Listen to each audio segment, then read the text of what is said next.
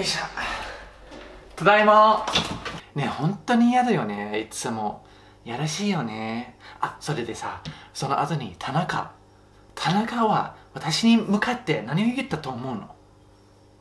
いやいや違う違う。私この仕事の大先輩の私に向かって立川さんは他人のことに首を突っ込みすぎだって言ってきてありえない knees, weak, arms, spaghetti,あお母さんのボロネーズ。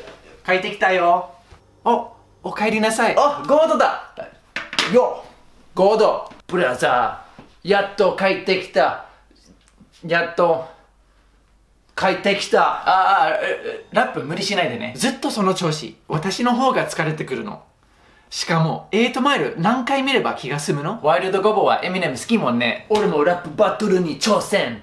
勝つのは当然。それは絶対無理だと思うわでもそれよりは人が大勢にいるところに行かない方がいいですよ。ウイルスに感染するよ。ああ、今コロナで大変だよな。そう。だからそれ以上家に入らないで。いや、俺オーストラリアの田舎に行ったから、ウイルスとか大丈夫だと思うんだけど。い。や中国でもオーストラリアでも海外は海外。あれ、ブランドにいるのはチーズ仮面？板橋区の平和の象徴。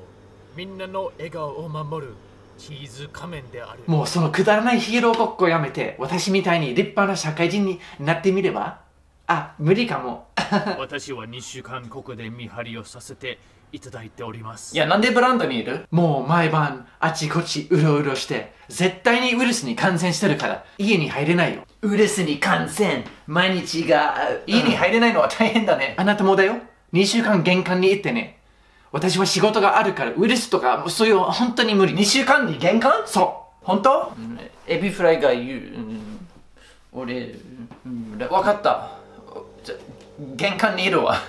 ういやー俺はここで誕生日を過ごすのかよやっぱり遊んでいいよ。